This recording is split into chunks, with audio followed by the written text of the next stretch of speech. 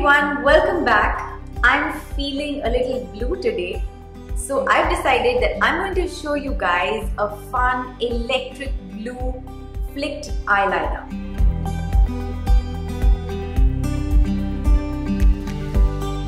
To get a good base for the eyeliner, I'm applying an eyeshadow primer from LA Girl. What I love about the Lakme Insta eyeliner is that it has intense color. The formula is highly pigmented and gives a rich color payoff.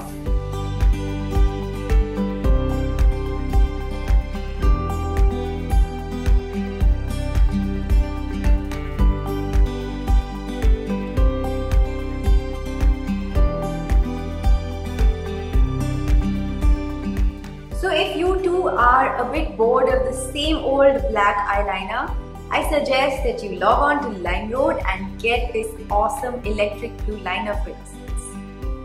Thank you so much for watching today's video. I look forward to talking to you guys again really soon. Bye!